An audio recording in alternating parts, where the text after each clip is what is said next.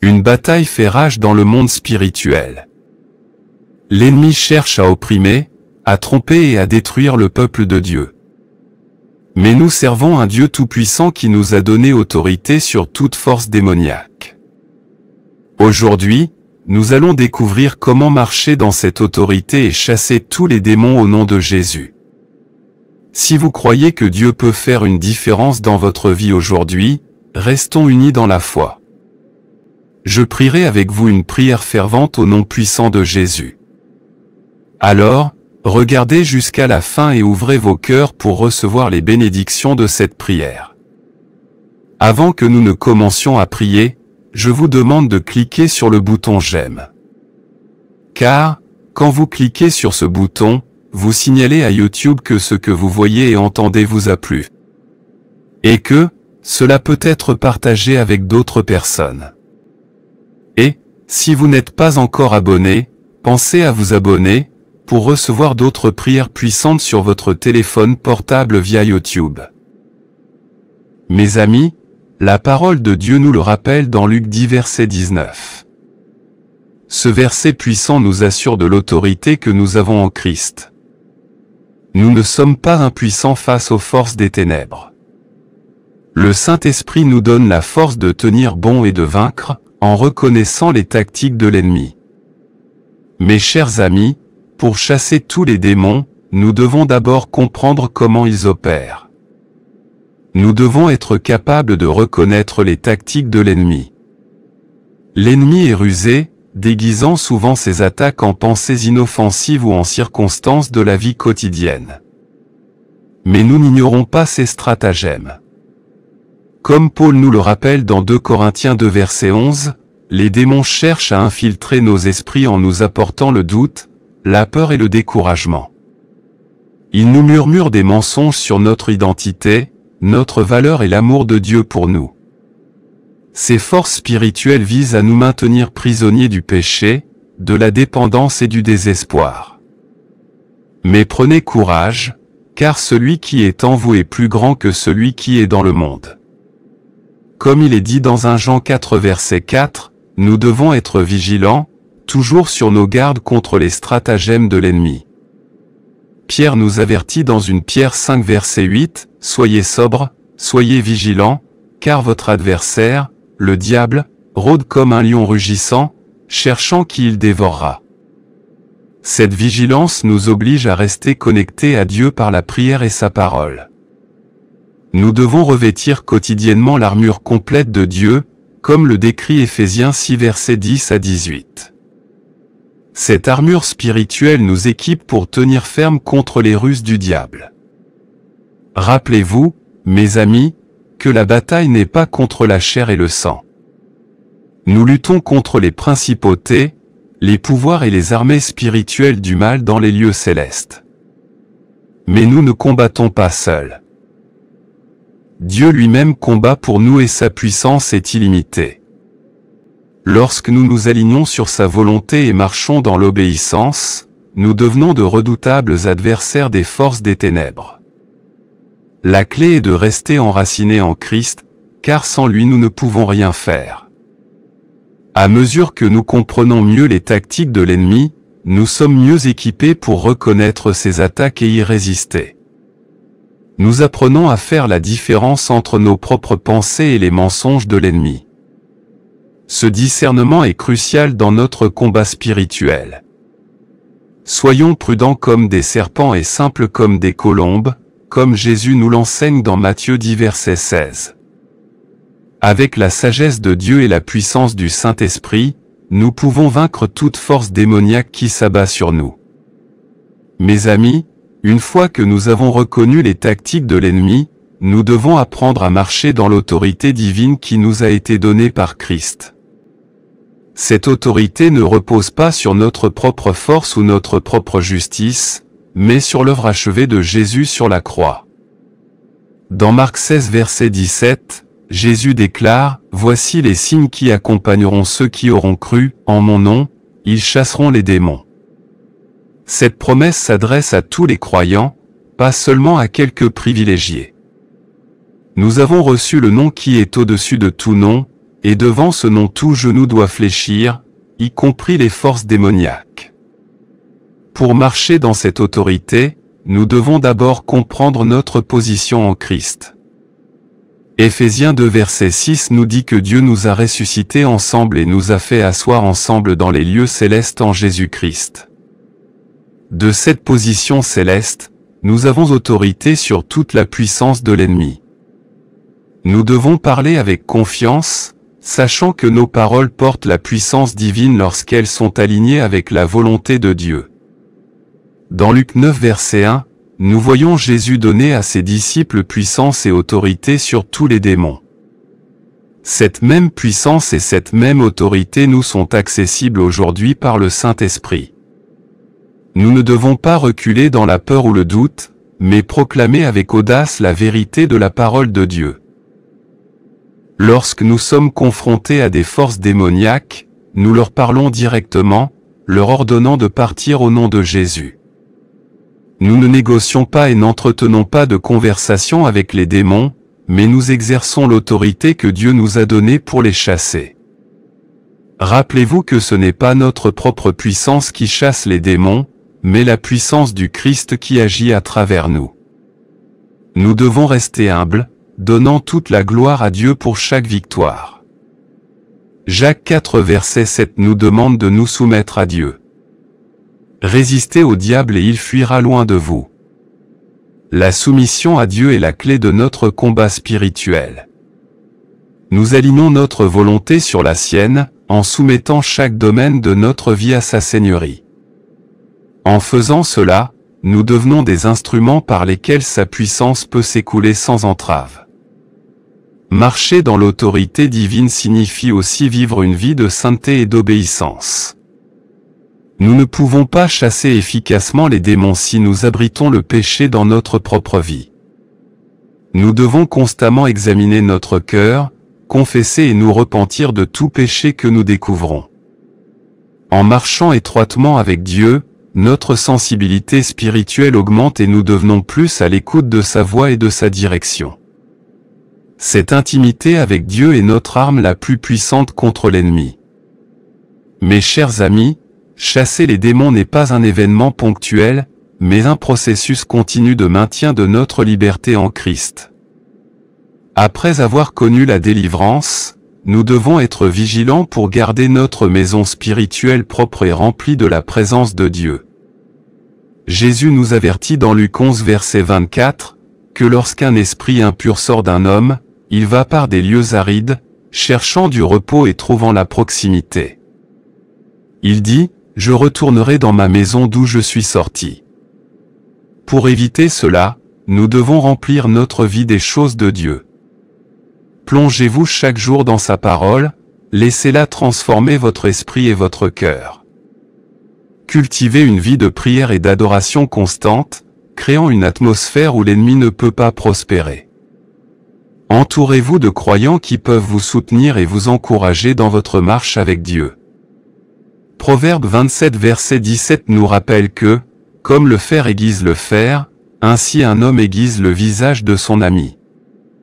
Nous avons besoin les uns des autres pour résister aux attaques de l'ennemi.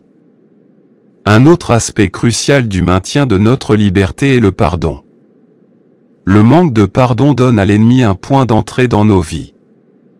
Dans Matthieu 6, versets 14 à 15, Jésus souligne l'importance de pardonner aux autres, en établissant un lien direct avec notre propre pardon de la part de Dieu. Libérez toute amertume ou tout ressentiment que vous pourriez entretenir et expérimenter la liberté qui vient avec le pardon. Rappelez-vous, mes amis, que notre victoire est déjà assurée en Christ. Romains 8 verset 37 déclare, Pourtant, dans toutes ces choses, nous sommes plus que vainqueurs par celui qui nous a aimés. Nous ne combattons pas pour la victoire, mais à partir d'une position de victoire. Restez ferme dans cette vérité, même lorsque les circonstances semblent accablantes. Déclarez les promesses de Dieu sur votre vie quotidienne, en prononçant la vie et la vérité dans chaque situation. Utilisez l'arme de la louange pour vaincre l'ennemi. Lorsque le roi Josaphat a fait face à une immense armée, il a envoyé des chantres devant l'armée, louant Dieu pour la victoire avant qu'elle n'ait lieu. De même, nous pouvons louer Dieu à l'avance pour nos percées et notre délivrance. N'oubliez pas non plus que cette bataille n'est pas seulement pour votre propre liberté, mais aussi pour celle des autres. En marchant dans la victoire, vous devenez un phare d'espoir pour ceux qui sont encore pris au piège des ténèbres. Partagez votre témoignage avec audace, en encourageant les autres avec la puissance de la délivrance de Dieu dans votre vie. 2 Corinthiens 1 verset 4 nous dit que Dieu nous console dans toutes nos tribulations, afin que nous puissions consoler ceux qui sont dans la détresse. Votre histoire de délivrance peut être la clé de la libération de quelqu'un d'autre. Maintenant, à tous, allons vers le Seigneur dans la prière. Je veux que vous priez cette prière avec moi ou que vous écoutiez cette prière avec foi afin que vous puissiez recevoir toutes les bénédictions de cette prière. Prions notre Dieu bienveillant et aimant. Père céleste, je viens devant toi, Dieu très haut, roi de gloire et Seigneur des armées. Tu es le Tout-Puissant, l'Alpha et l'Oméga, celui qui était, qui est et qui vient. Tu es le Dieu puissant dans les combats, le lion de la tribu de Judas et le maître de toute la création. Tu as créé par ta parole les cieux et la terre, et par ta parole tout subsiste. Nul n'est semblable à toi, ô Éternel, vêtu de majesté et de splendeur, entouré de lumière et de gloire. Tu es celui qui triomphe de tout ennemi, qui brise toute chaîne et qui me délivre de tout mal. Tu es mon bouclier et ma tour forte, mon refuge dans les jours de détresse. Je t'exalte, Seigneur, car tu es mon sauveur, mon libérateur et mon rédempteur. Tu es le Dieu qui a toute autorité dans le ciel et sur la terre. À ton nom tout genou fléchit. Je t'adore, car tu es saint et juste, tout puissant et plein de grâce. Tu es mon Dieu, et je t'honore de tout ce que je suis, car toi seul es digne de toute louange, de tout honneur et de toute gloire. Merci, Seigneur, pour ton amour indéfectible et ta miséricorde infinie. Merci pour le sang de Jésus qui lave tous mes péchés et brise toutes les chaînes de l'esclavage. Merci pour l'autorité que tu m'as donnée par le Christ pour marcher sur les serpents et les scorpions et sur toute la puissance de l'ennemi. Je te suis reconnaissant pour ta fidélité, pour avoir été à mes côtés dans toutes les épreuves et pour m'avoir délivré de tous les pièges. Je te demande pardon, Seigneur, pour chaque péché que j'ai commis, consciemment ou inconsciemment. Pardonne-moi chaque fois que j'ai permis à la peur, au doute ou au péché d'ouvrir des portes dans ma vie qui ont donné un point d'appui à l'ennemi. Je pardonne à ceux qui m'ont fait du tort, tout comme tu m'as pardonné, et je les remets entre tes mains. Purifie-moi, ô Seigneur, de toute injustice et crée en moi un cœur pur. Aide-moi à rester ferme dans ta vérité et à marcher dans la liberté que tu m'as acquise. Seigneur, je prends autorité sur toute force démoniaque qui s'est dressée contre moi. Au nom puissant de Jésus, j'ordonne à tout esprit de peur, de confusion et de tourment de quitter ma vie immédiatement. Je réprimande tout esprit de dépression, d'anxiété et d'oppression au nom de Jésus. Je lis tout esprit de dépendance, de convoitise et de perversion qui cherche à me détruire. Je déclare que tout esprit impur, tout esprit d'infirmité, tout esprit de sorcellerie et toute puissance démoniaque qui a essayé de s'infiltrer dans ma vie est chassé au nom de Jésus. Je m'appuie sur ta parole, Seigneur, qui dit que tu m'as donné l'autorité de chasser les démons et de piétiner toute puissance des ténèbres. Dieu Tout-Puissant, par l'autorité de Jésus-Christ, je brise toute malédiction, tout sort et tout sort qui ont été lancés contre moi. Je renonce à tout mensonge de l'ennemi et déclare que je suis un enfant de Dieu, acheté par le sang de Jésus, et qu'aucune arme forgée contre moi ne prospérera. Je plaide le sang de Jésus sur mon esprit, mon cœur et mon âme. Au nom de Jésus, je déclare que je suis libre, que toutes les chaînes sont brisées et que toutes les forteresses sont démolies. Je déclare que je suis victorieux par Jésus-Christ et que je ne serai pas ébranlé. Père, je demande que tes bénédictions débordent dans tous les domaines de ma vie. Bénis-moi avec la force et le courage de rester ferme dans ma foi, de résister à chaque attaque de l'ennemi et de marcher dans la puissance de ton esprit.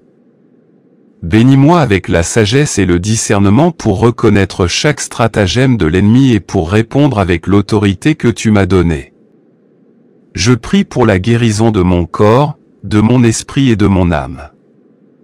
Je proclame la vie et la santé dans chaque partie de mon être et je réprimande tout esprit d'infirmité au nom de Jésus. Je réprimande toute attaque contre mes finances, mes relations et mon objectif au nom de Jésus. Je déclare qu'aucun plan de l'ennemi ne réussira, et j'invoque les bénédictions et la faveur de Dieu sur ma vie. Je prie pour que ma famille et mes proches soient protégés. Couvre-nous de ton précieux sang et entoure-nous de tes anges. Protège-nous de tout mal et de tout danger, et que ta présence soit un bouclier autour de nous. Que ta paix règne dans nos cœurs et que ta joie soit notre force. Seigneur, tandis que je récite cette prière, avec tous ceux qui m'écoutent, je suis reconnaissant pour chaque cœur qui s'ouvre devant toi en ce moment. Nous nous mettons d'accord, nous nous soutenons mutuellement, nous recherchons ta délivrance et nous proclamons ta victoire dans tous les domaines de notre vie. Seigneur, nous te demandons de briser toutes les chaînes et de chasser tous les démons qui nous ont retenus captifs. Que ton Saint-Esprit nous remplisse, nous guide et nous conduise dans toute la vérité. Nous réclamons tes promesses, Seigneur, que nous sommes plus que vainqueurs par le Christ qui nous aime. Nous nous appuyons sur la puissance de ta parole, déclarant que celui que le Fils libère est réellement libre. Nous prions pour ta protection, tes conseils et tes provisions. Nous demandons que ta main soit sur nous, nous conduisant dans les sentiers de la justice à cause de ton nom, car à toi appartiennent le royaume, la puissance et la gloire pour toujours et à jamais. Merci, Seigneur, d'avoir entendu et exaucé ma prière. Au nom puissant de Jésus, je prie, Amen. Merci, Seigneur, d'avoir entendu et répondu à ma prière. Au nom puissant de Jésus, je prie. Amen. Je prie que toutes les bénédictions de cette prière soient maintenant sur vous au nom de Jésus. Si vous avez été béni par ce message, tapez le mot Amen dans la section commentaires ci-dessous. Vous pouvez nous aider à atteindre plus de personnes et à répandre l'Évangile. Vous pouvez le faire en partageant la vidéo avec un ami ou un membre de votre famille qui, selon vous, a besoin de la bénédiction de cette prière, et en cliquant sur le bouton j'aime. N'oubliez pas non plus de vous abonner à la chaîne pour plus de vidéos qui béniront votre cœur et élèveront votre esprit.